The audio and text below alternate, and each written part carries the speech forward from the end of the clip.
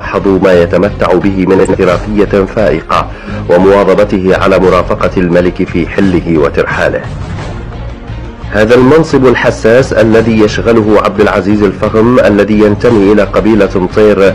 جاء بعد مسيرة ملأى بالدورات العسكرية والأمنية التي احترفها بالدراسة عندما التحق بكلية الملك خالد العسكرية ليتبعها بعشرات الدورات في الساعقة والساعقة المتقدمة وأمن الشخصيات إضافة إلى ما يتمتع به من كاريزما خاصة تعبر عنها تلك الوقفة التي فيها الكثير من الهيبة المطلوبة في أصحاب المهمات الخاصة من هذا النوع.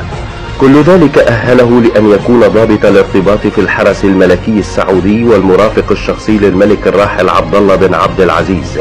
وكانت نظرة الملك عبد الله في محلها حين رثاه عبد العزيز الفغم بالصوت والكلمة والدموع. يا ذراه من تعزوى فيك يطلب ذراك. ويا عزيز يذل الياس لو هو شديد. أنا أشهد لك مواقف ما وقفها سواك. أنا أشهد لك مواقف ما وقفها سواك. وأشهد إن ما لها إلا أنت. وأشهد إن ما لها إلا أنت وأنت الوحيد. ونظرا لسيرة الرجل وتماهيه في عمله أصبح الحارس الشخصي للملك سلمان يرافقه مثل ظله.